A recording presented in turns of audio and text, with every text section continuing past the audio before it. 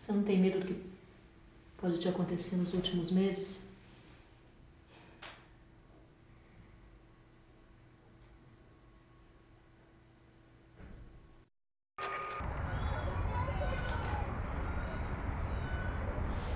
Esse mal-estar toda semana, Cristina,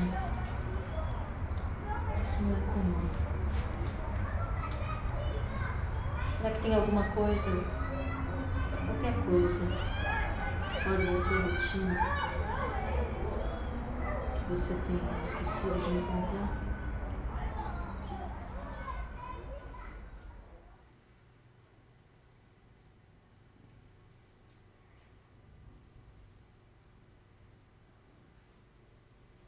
Os meus últimos meses não.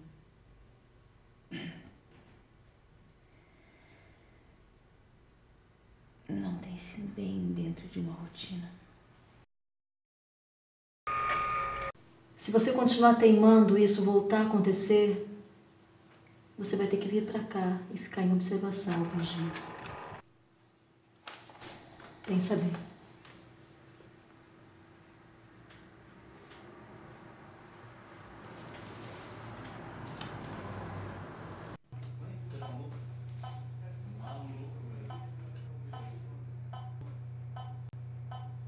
Eu só tô recomendando isso por falta de uma outra opção.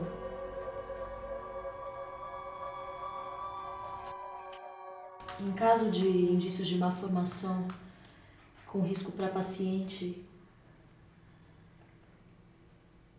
o mais indicado seria